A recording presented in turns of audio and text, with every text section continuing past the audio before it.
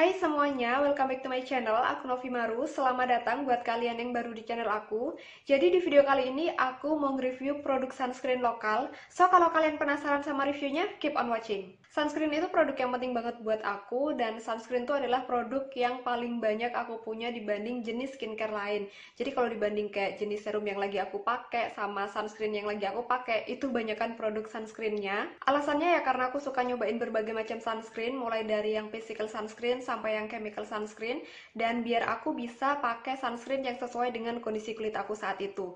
Nah, yang mau aku review di sini adalah sunscreen dari Emina. Ini adalah Emina Sun Battle Sun Protection SPF 45 PA.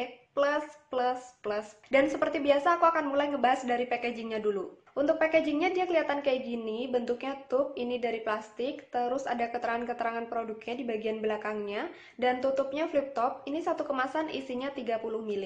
Dia ini teksturnya ringan, nggak lengket, dan rasanya tuh dingin di kulit, terus dia ada wanginya, tapi nggak mengganggu sama sekali buat aku. Dari keterangannya dia ini mengandung grape leaf extract dengan antioksidan, ini dikenal sebagai anti polusi, terus dia juga mengandung homoselet, avobenzone, bisabolol, alkohol, dan lain-lain. Dari namanya pasti udah tau lah ya kalau ini termasuk chemical sunscreen, dan dia ini SPF-nya 45 PA+++.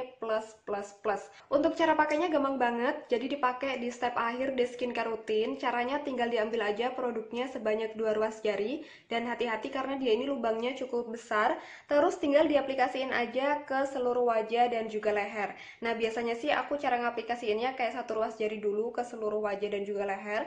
Terus setelah itu aku ratain lagi satu ruas jari ke seluruh wajah dan juga leher. Nah, ini bisa dipakai 15 menit sebelum beraktivitas di luar. Dan jangan lupa harus di reapply setiap 2 jam sekali. Aku tuh tiap pakai produk sunscreen caranya selalu sama. Jadi karena dia ini dipakai sebanyak dua ruas jari, biasanya aku pakai dulu satu ruas jari ke seluruh wajah, terus aku tunggu dulu produknya nyatu ke kulit aku, baru aku tambahin lagi satu ruas jari. Karena biasanya kalau langsung aku aplikasiin ke seluruh wajah, itu dia kayak jadi lama gitu ngeresepnya, terus kayak numpuk banget di wajah aku dan lebih susah diratain sih menurut aku kayak gitu. Itu cara aku, tapi kalau kalian mau pakai langsung sebanyak dua ruas jari juga nggak masalah masalah, yang penting takarannya benar. Buat yang belum tahu jenis kulit aku itu normal to oily dan sebenarnya tuh aku lebih suka pakai produk physical sunscreen dibanding chemical sunscreen.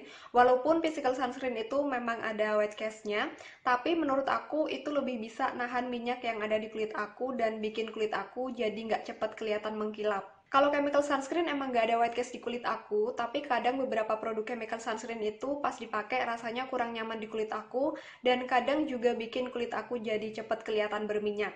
Kalau Eminasan Battle ini dia nggak ada white cast dan setelah pakai si Eminasan Battle ini kulit aku tuh jadi kelihatan lembab dan glowing. Tapi walaupun dia ini teksturnya ringan, cuman tetap butuh proses agak lama untuk meresap ke kulit aku. Beberapa chemical sunscreen yang pernah aku coba dan yang cocok di kulit aku biasanya tuh hasilnya bikin kulit aku jadi kelihatan lembab dan glowing. Terus dipakai seharian juga aman banget untuk kulit aku yang normal to oily. Tapi untuk si Eminasan Battle ini, kalau di kulit aku yang normal to oily, dia itu memang pertama kali bikin kulit berasa lembab terus nanti lama-lama kelihatan glowing gitu. Tapi setelah satu jam dua jam gitu kayak kulit aku udah mulai kelihatan agak mengkilap. Nah setelah beberapa jam kulit aku udah mengkilap banget dan kalau dipakai seharian ini bikin kulit aku jadi berminyak banget Apalagi kalau banyak aktivitas di luar, makanya aku pakai si Eminasan Battle ini kalau pas lagi di rumah aja. Terus mata aku ini agak sensitif dan beberapa sunscreen yang pernah aku coba ada yang bikin mata aku berasa jadi perih sampai keluar air matanya jadi kayak nangis gitu. Mostly chemical sunscreen sih yang kayak gitu di aku dan si Eminasan Battle ini salah satunya. Pas awal-awal dipakai sih dia ini biasa aja, nyaman-nyaman aja rasanya, tapi nanti setelah beberapa menit atau beberapa jam, enggak sih, biasanya beberapa menit aja itu udah mulai berasa agak perih mata aku, dan nanti lama-lama tuh sampai nangis, sampai bleber-bleber gitu air matanya, bahkan sampai aku nggak kuat sih sama rasa perihnya dan harus aku bersihin dulu tuh sunscreennya baru mata aku nggak perih lagi. Sayangnya si Eminasan Battle ini hasilnya kurang bagus di kulit aku kalau dibanding sama chemical sunscreen yang pernah aku coba sebelumnya.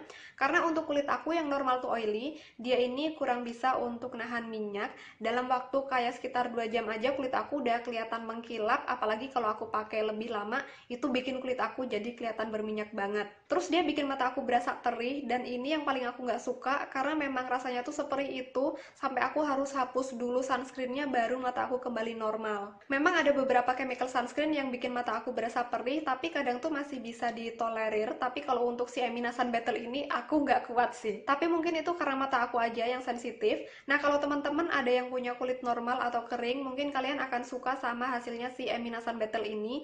Karena memang dia tuh melembabkan dan bikin kulit jadi kelihatan glowing gitu. Tapi kalau untuk kulit yang normal tuh oily kayak aku, ini kurang bagus sih. Tapi selama aku pakai si Eminasan Battle ini, dia nggak bikin kulit aku bermasalah. Maksudnya nggak ada masalah kayak jerawat, iritasi, breakout, atau masalah kulit yang lainnya, kecuali yang dua tadi ya, yaitu nggak bisa nahan minyak dan bikin mata aku berasa perih. Oh iya, buat teman-teman yang mungkin pernah nyobain si Eminasan Battle ini, boleh banget untuk sharing di kolom komentar gimana hasilnya di kulit kalian. Dan buat teman-teman yang mungkin pengen nyobain si Eminasan Battle ini, kalian bisa klik link belinya yang ada di description box. Ini harganya cukup affordable, kayak nggak nyampe 50 ribu gitu sih. So ya, kayaknya segitu aja review singkat dari aku untuk Eminasan Battle ini. Semoga videonya bermanfaat dan semoga kalian suka. Jangan lupa like, comment, dan share videonya. Buat teman-teman yang belum subscribe channel aku, jangan lupa subscribe, karena akan ada 3 video video setiap minggunya yang up di hari Selasa, Kamis, dan Sabtu. Untuk detail produknya akan aku tulis di description box, jadi langsung cek aja. Kalau kalian ada pertanyaan atau request video, kalian bisa tinggalin komen di bawah, atau follow Instagram aku di @novimaru24. Dan buat teman-teman yang mau nonton video-video aku sebelumnya, kalian bisa klik di sini atau di description box. Makasih banyak udah nonton video aku, dan sampai ketemu di video aku yang selanjutnya. Bye!